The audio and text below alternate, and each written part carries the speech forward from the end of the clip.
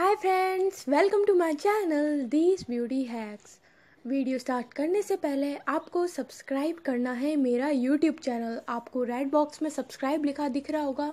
जल्दी से उसे दबा दीजिए जिससे आपको मेरे वीडियो जल्दी से मिलते रहें और आप मुझसे जुड़े रहें।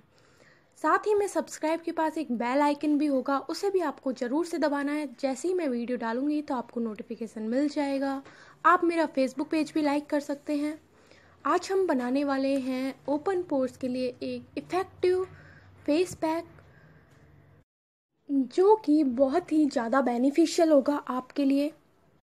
इसमें मैं एक फेस पैक बताऊँगी और एक आइस क्यूब बताऊँगी आपके ओपन पोर्स के लिए। सबसे पहले हम लेंगे मुल्तानी मिट्टी, जो कि ओपन पोर्स से प्रोड्यूस एक्सेस ऑयल को भी रिमूव कर देती है। साथ ही हमारी स्किन को क्लियर और ग्लोइंग बना देती है। और ये सारे स्किन टाइप वाले यूज़ कर सकते हैं। ये सारे स्किन टाइप के लिए ही बहुत ही ज़्यादा अच्छी होती है। फिर मैंने ली है चंदन पाउडर जो कि पिंपल्स को भी रिमूव करता है डार्क सर्कल्स को और साथ ही फेयरनेस देता है डार्क स्पॉट्स को भी दूर करता है और हमारी कई स्किन प्रॉब्लम को भी दूर कर देता है। इसके बाद लिया है गुलाब जल, जो कि हमारी स्किन को क्लीन करेगा और स्किन के पीएच बैलेंस को मेंटेन करेगा। हमें इन तीनों को अच्छे से मिला लेना है। और आपको ये फेस पे लगाना है डेली लगाना है और इसके सूखने के बाद आपको फेस वॉश कर लेना है। ये जो हमने तीनों इंग्रेडिएंट्स लिए हैं, ये तीनों ओपन पोर्स के लिए बहुत अच्छे हैं।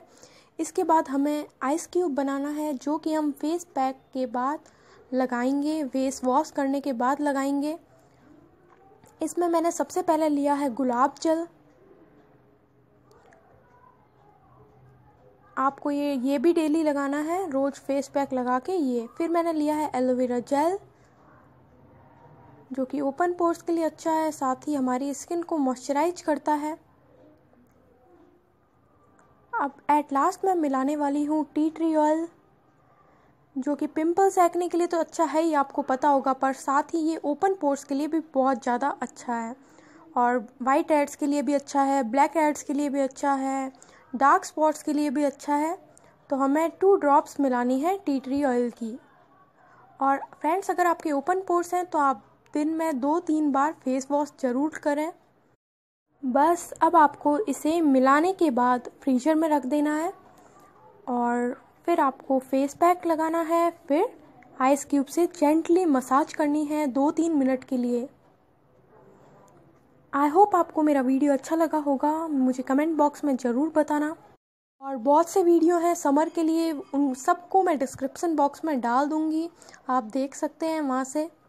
और मेरा चैनल सब्सक्राइब करना बिल्कुल भी मत भूलना। बाय मिलते हैं नेक्स्ट वीडियो में।